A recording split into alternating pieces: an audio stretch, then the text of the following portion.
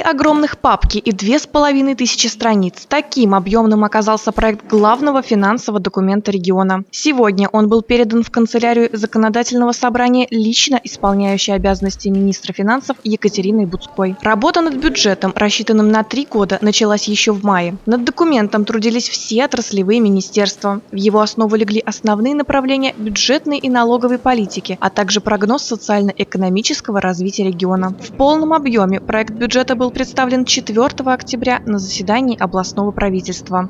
Мы можем обеспечить э, с вами при правильной экономической финансовой политике э, такие макроэкономические условия, которые будут э, стимулировать рост региональной экономики и которые сохранят тенденции к снижению инфляции.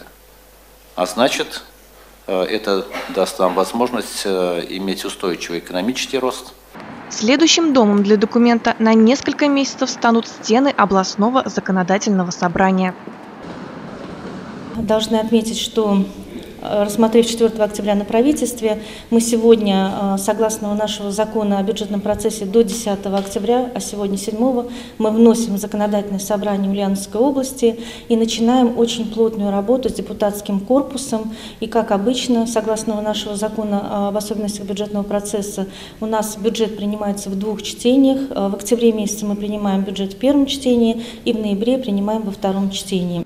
Окончательное принятие регионального бюджета намечено на декабрь этого года. Дарья Судрева, Юрий Конихин. Новости Ульяновской правды.